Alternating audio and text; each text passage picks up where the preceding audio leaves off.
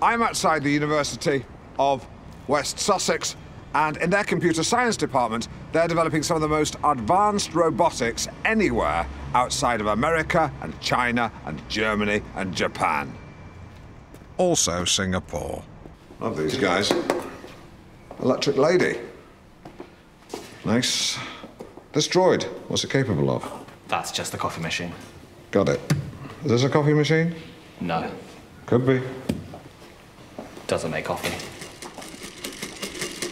So this is the unit here. It's a fully electronic torque-controlled quadruped. We foresee a lot of uses in the industrial cleaning sector as well as around the home. Yeah, it's quite a noisy little, uh, I want to say chap, not quite sure what to call it. Her nickname is Lady. Yeah, I, I don't really do nicknames. Can you switch it off, please? I asked you to turn it off, please. Sorry, love. Oh.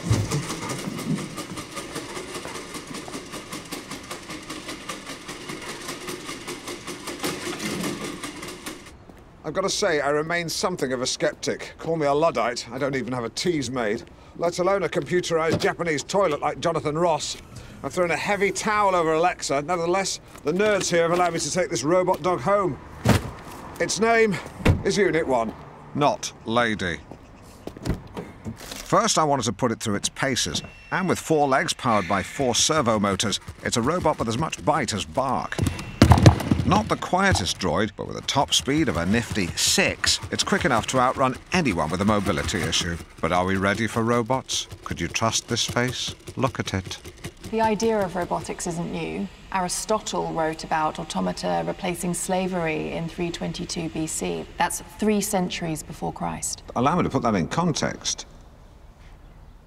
But he just did.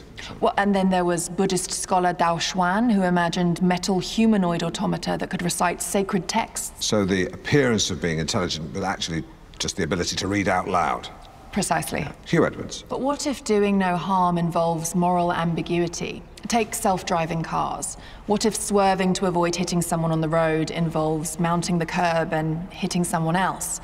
How does the robot decide whom to harm and whom to save? Good use of the word whom, but it is a dilemma. If a, a robot car was hurtling towards a pregnant woman pushing a pram, of course, it would swerve to avoid her, even if it meant hitting another pedestrian. But what if that pedestrian was a senior politician like Grant Shapps?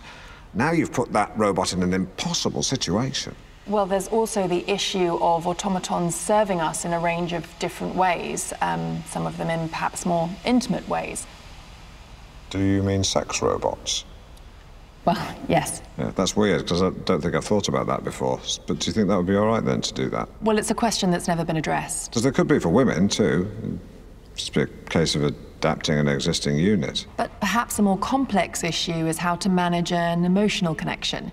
You could imagine a robot one day providing the same companionship a dog might. My dog would be a hard act to follow. Yes, some people do form strong emotional attachments with their dogs. Not like me and Seldom. Is uh, he passed on a couple of weeks ago. I, I was actually at a fun fair. One minute he was barking at the waltzers. The next minute he was, as I thought, asleep next to the ghost train. Funnily enough, but um, no, he'd. Um, yeah, yeah. I'm so sorry to hear that. Ah, yeah, he was a big fella, yeah, but, but I tell you, he showed a damn sight more sensitivity than half the people on this planet. Well, that's the thing with these moral dilemmas. I think it's. He used to stand on his hind legs and put his paws on his shoulders and then just dance around the room. Yeah. yeah. I miss him. He's a really, really good dog.